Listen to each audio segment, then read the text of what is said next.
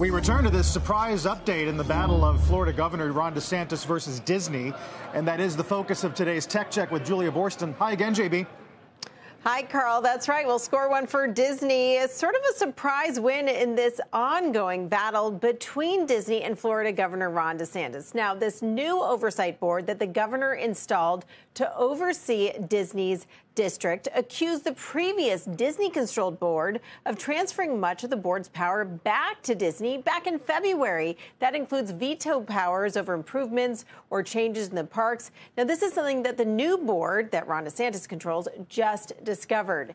Disney sharing a statement with us saying, quote, all agreements signed between Disney and the district were appropriate and were discussed and approved in open notice public forums in compliance with Florida's government in the Sunshine Law. Now, it's interesting here that they just discovered this recently, even though it was signed back in February. Meanwhile, DeSantis' office saying, quote, we are pleased the new governor appointed board retained multiple financial and legal firms to conduct audits and investigate Disney's past behavior. So it sounds like this battle isn't over yet. But Disney's oversight board has been around since the state created a special tax district for the theme park back in 1967.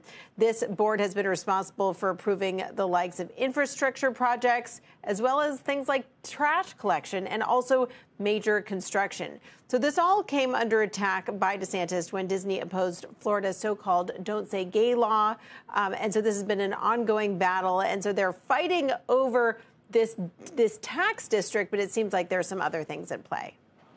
It kind of takes me back to when we spoke to Michael Eisner, was it two weeks ago? Mm-hmm. And we said, how's this going to resolve itself? He, he argued that it's hard to go up against Disney over the long term politically, and that the company would make some of these Florida critics converts. No, he said, you know, it would not be a good strategy for Ron DeSantis running for president, going after Disney, which everybody loves. But of course, he also used to lead the company. Right.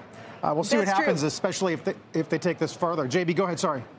Oh, yeah. I was just going to say one thing that's interesting is that in addition to managing this district, and yes, there are things like improving infrastructure, which Disney, of course, wants to do, but there are also costs associated with it. And Disney would rather carry, the cost of managing its own trash collection. Um, it's expensive, but it's worth it for them to have that kind of control. So, it, does the state really want to be responsible for the cost of that as well?